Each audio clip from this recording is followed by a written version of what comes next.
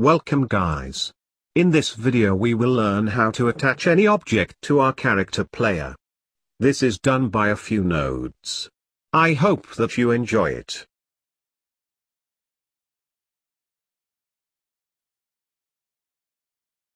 Now if you already have a scene or a game template then you can skip. I will create a little scene but if you need help then watch my other beginner video.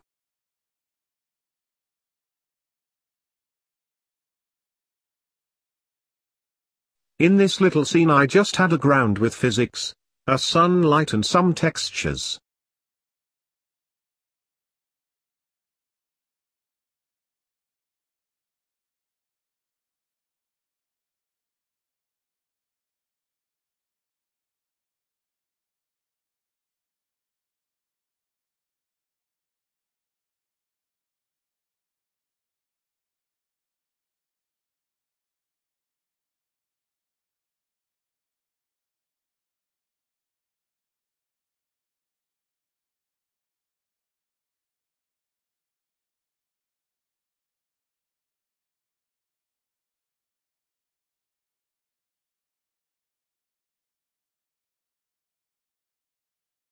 I start my game and we will see a very simple little scene.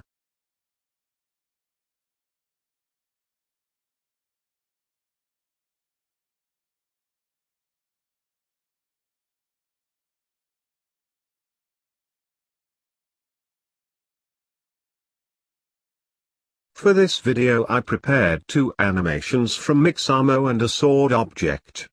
We will import these in our game.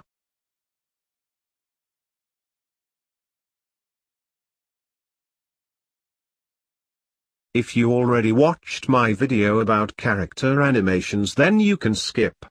We will do exactly the same from the video but if you already have a character with animations then you can also skip. Here I am joining the two meshes together and also afterwards renaming it.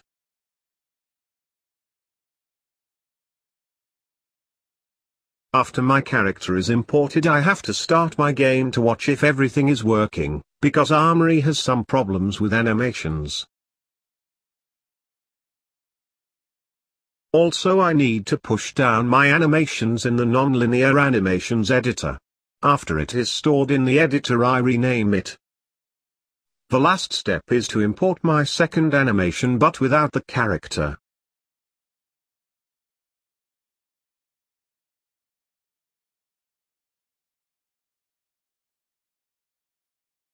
Make sure that is on your idle or on animation. Unfortunately we can't start with an attack animation.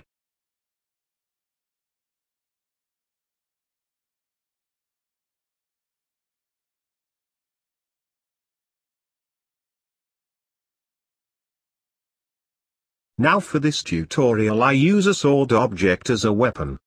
You can use any object.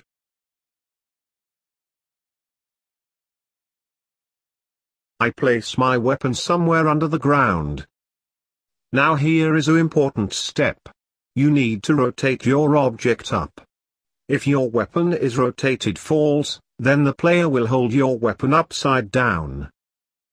Here I set the object origin to the sword handle. Our player will hold it on the object origin.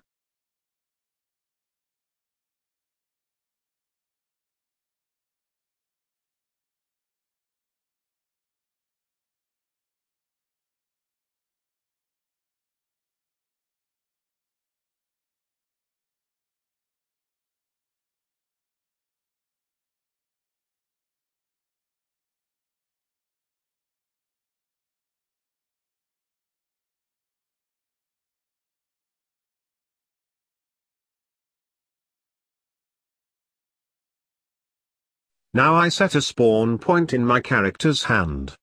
At this position our weapon will spawn.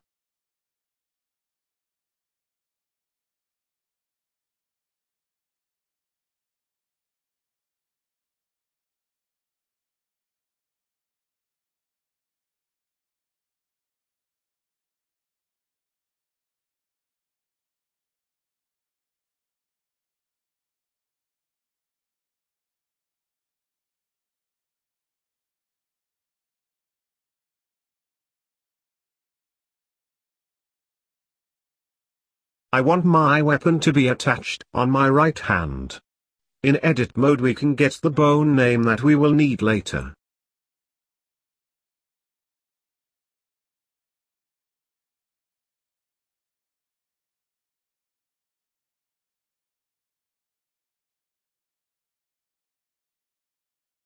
We set the Blender cursor to our hand object. Now on the object settings under relations we can parent it to an object.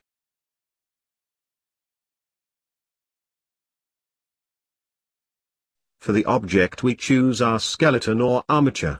Under the type we select bone type and search for the bone. For me it is the right hand.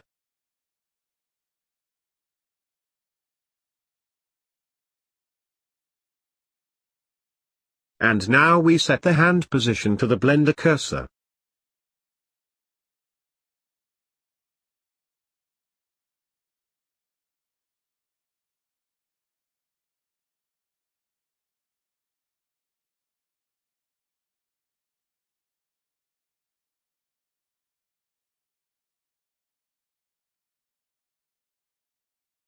Now we add a node trait for our weapon.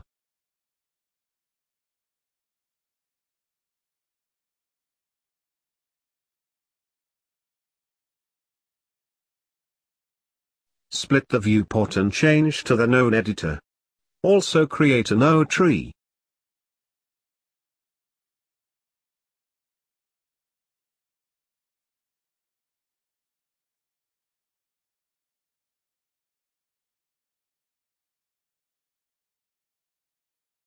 Now we are starting with the magic. Add a on init node.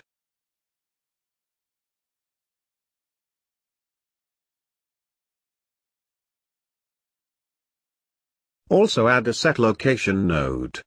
We want our weapon to be in the right position. In our case to the hand object that we set up earlier.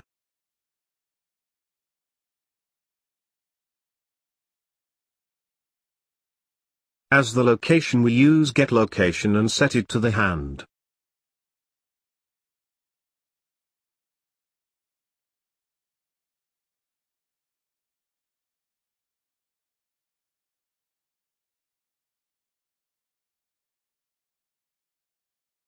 After the location node we connect it from there to the parent node. That means that it will goes first to the position and then afterwards it will parent it. For the first object we set the child and the second will be the parent.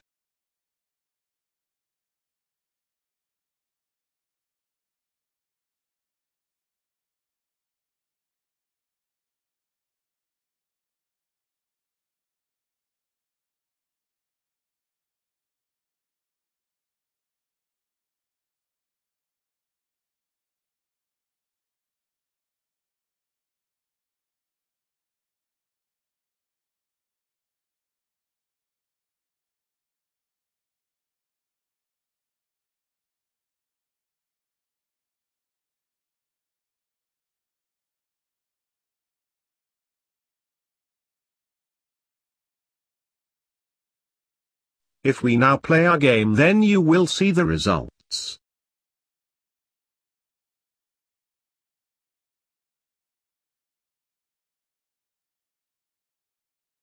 You can see that the sword is rotated false.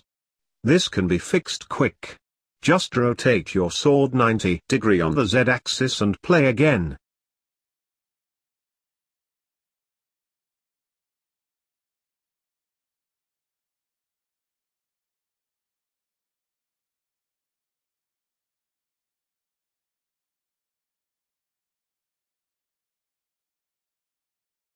If you are not satisfied with the result like me then just change the location a bit.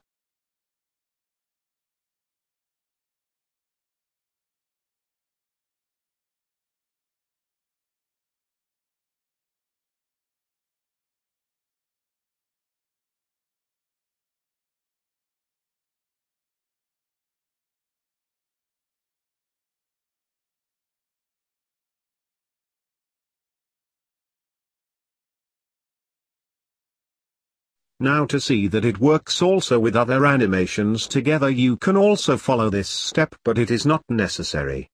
We just play another animation after a key is pressed.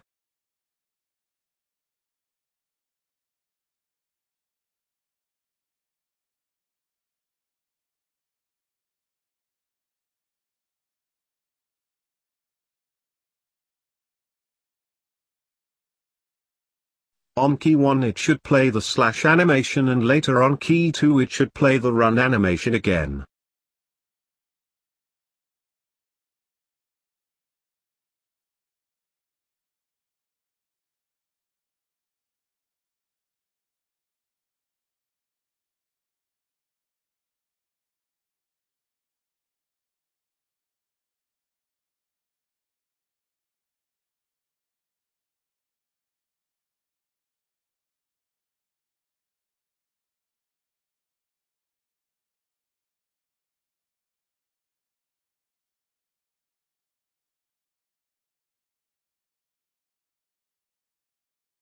You can see that it will stay at the right position. I really hope you liked it. If you need help then leave a comment. Thank you for watching have a nice day.